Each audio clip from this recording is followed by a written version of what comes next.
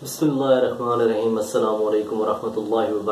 Viewers, आप मेरे YouTube channel को वॉच कर रहे हैं। मेरा नाम मोहम्मद अदनान है। बेनज़ीर इनकम स्पोर्ट प्रोग्राम के मुतालिक जो भी अपडेट्स होती हैं, वो टाइमली मैं आप लोगों को बताता रहता हूँ। तो आज जो सबसे बड़ी डिवेलपमेंट हुई, या ये कहें कि जी मुशाहे में मेरी जो बात आई, मैंने समझा कि आप लोगों से भी ज़रूर शेयर करूँ। वो ये है कि सरकारी मुलाजमीन जो है वो भी किस तरह बेनज़ीर इनकम स्पोर्ट प्रोग्राम में जो है वो शमूलियत इख्तियार कर सकते हैं? तो ये बताना आपको इंतहाई ज़रूरी था, क्योंकि आज तक यही समझा जाता है जी, सरकारी मुलाजमीन की जो फैमिलीज़ वगैरह होती हैं, एक तो वैसे वो पिसा हुआ तबका होता है जो छोटे रैंक में, छोटे लेवल्स में आ जाते हैं, जितने भी हमारे सरकारी मुलाजमीन वगैरह जो हो जाते हैं, जिनके ग्रेड्स ज़रा कम लेवल के हैं, अफसरान लेवल में नहीं आते तो वो भी अब जितने भी ऐसे सरकारी मुलाजमीन जिनकी तनख्वाह जो है वो तकरीबन साठ हज़ार रुपए तक है, याद रखिएगा, साठ हज़ार से अगर वो नीचे तनख्वाह ले रहे हैं तो उनकी जो है वो भी बेनज़ीर इनकम सपोर्ट प्रोग्राम में जो है वो शमूलियत हासिल कर सकते हैं, इख्तियार कर सकते हैं। उसका प्रोसेस यही होगा कि उनकी अहलिया जाएँ और नया डायनामिक रजिस्ट्रेशन सर्वे जो चल रहा है उसमें जाकर अपना इंदराज करवाएँ तो याद रखिएगा कि अगर उनके जो उनके शोहर हजरात हैं, उनकी सैलरी जो है वो साठ हज़ार से कम है और उनके अलावा उनके पास कोई व्हीकल वगैरह, गाड़ी वगैरह नहीं है और बस वो, क्योंकि पिसा हुआ तबका होता है। मैंने आपको पहले भी बताया कि हर कोई सरकारी ग्रेड्स में इतना अब नहीं होता कि वो गुजारा बसर जो मौजूदा हालात हैं, जो पोजीशन है, जिस तरह से महँगाई है तो अब वो भी इस प्रोग्राम में जो है वो शमूलियत इख्तियार कर सकती हैं, वो जाएँ और जो है आके जाके अपना सर्वे करवाएँ इन ताला। वो भी इस प्रोग्राम में बाकायदगी से उनको शामिल किया जाएगा, भी उन्हें भी खुश आमदीद कहेगा और उनका भी जो है वो तालीमी, अगर उनके बच्चे वगैरह पढ़ रहे हैं तो वज़ाइफ में उनके भी जो कागजात वगैरह हैं वो आप जमा करवाएँ।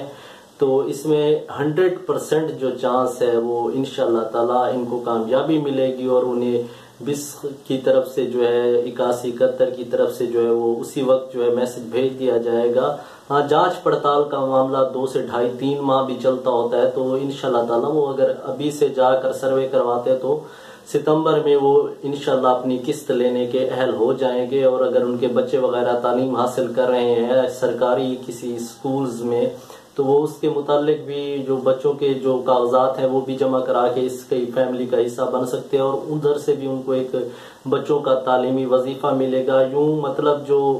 सरकारी मुलाजमीन है, उनको थोड़ी सी सपोर्ट देने के लिए ये इकदाम किया गया है। इससे पहले सरकारी मुलाजमीन जो थे, वो इस बेनज़ीर इनकम सपोर्ट प्रोग्राम में शमूलियत इख्तियार नहीं कर सकते थे। इसके अलावा कुछ ऐसे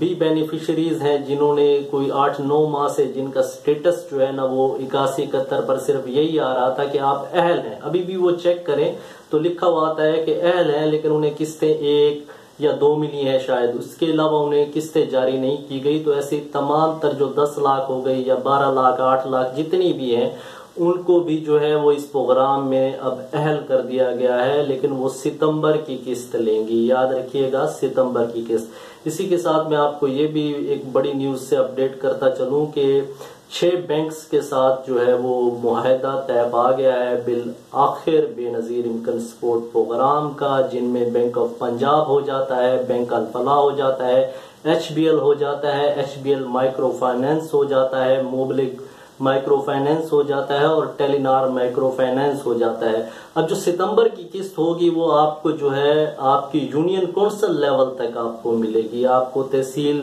दफातर या हुकूमती कैंप साइड ये आखिरी सिलसिला है जो आप ले रहे हैं। जो अपकमिंग जो सितंबर की क्वार्टर की जो फ़ेज़ होगी, यानी कि ये लास्ट क्वार्टर हो जाता है चौथा क्वार्टर बोलेंगे हम, क्योंकि चार समाई किस्त होती है, साल में चार मरतबा जारी होती है। तो इन ताला जो सितंबर की किस्त होगी, वो उनको जो है वो मिलेगी इन बैंक्स के ज़रिए से, इनके थ्रू से। इसके लिए इनको अभी कोई अकाउंट्स वगैरह खुलवाने की कोई ज़रूरत नहीं है, क्योंकि ये अभी नादरा और इन बैंकों के दरमियान दरमियान जो है वो मुहिदा तय पाया है। बाकायदा जो इस मुहिदे को आगे बढ़ाया गया और छह बैंक जो मैंने आपको बताया, ये फाइनलाइज हो चुके हैं। अब इन्हीं की तरफ़ से जो है वो सपोर्ट किया जाएगा ताकि ये जो प्रोग्राम है ये आपकी दहलीज तक पहुँचे तमाम जो बेनिफिशरीज हैं, जो इतने दूर दूर जाकर अपने रकम के लिए धक्के खाती हैं या तंग होती हैं तो उनकी ये तंगी को, उनकी ये परेशानी को कैंपिंग साइट ट्रेलर हजरात की जो कटौती हैं वगैरह बेपना इस प्रोग्राम में आपने देखा होगा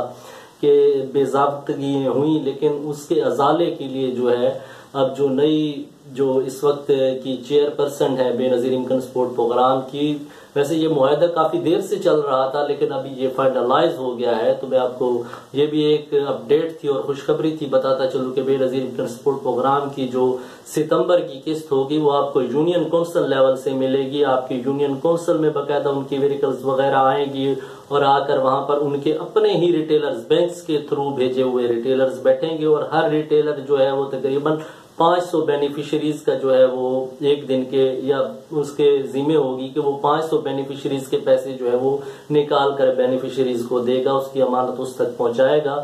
तो बड़ा अच्छा इकदाम है, अगर ये ऐसा हो गया मुमकिन तो यही है कि हो जाएगा, बल्कि हो चुका है। लेकिन फाइनल तो तभी होगा जब सितंबर में हमारे सामने किस्त आएगी या जब ये किस्त स्टार्ट की जाएगी, लेकिन मैं आपको बता चुका हूँ कि ये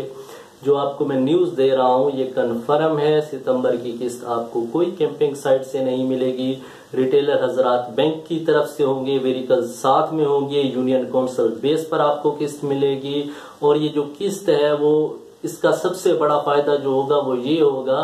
कि ये जो कैंप साइट रिटेलर हजरात, महीनों दर महीनों का सिलसिला जी किस्त चल ही रही होती है तो दूसरी किस्त शुरू हो जाती है। अब वो काम नहीं होगा, पूरे पाकिस्तान में तकरीबन एक हफ़्ते के अंदर अंदर ये छह बैंक जो है किस्त को डिस्ट्रीब्यूट कर देंगे और तमाम बेनिफिशरीज को जो है उनका हक उन तक पहुँच जाएगा और मिल जाएगा। जिन्होंने अभी तक डायनामिक रजिस्ट्रेशन में सर्वे नहीं करवाया तो उन्हें चाहिए कि जल्द से जल्द अपना जो है वो सर्वे करवा ले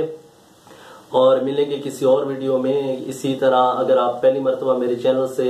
जुड़े हैं, अगर पहली मरतबा वीडियो को देख रहे हैं तो आपसे गुजारिश के चैनल को सब्सक्राइब कर दें, वीडियो अच्छी लगी हो तो इसे लाइक कीजिएगा और मालूम को दूसरों की हद तक भी पहुँचाया करें, इसे शेयर भी किया करें ताकि दूसरे भी इससे फ़ायदा हासिल करें और अपनी ज़िंदगी में आसानियाँ पैदा करें। खुश रहें, खुश रखें, दूसरों को भी और अच्छा सोचें, अच्छे की उम्मीद रखें। मिलेंगे किसी और वीडियो में। अल्लाह निगेबान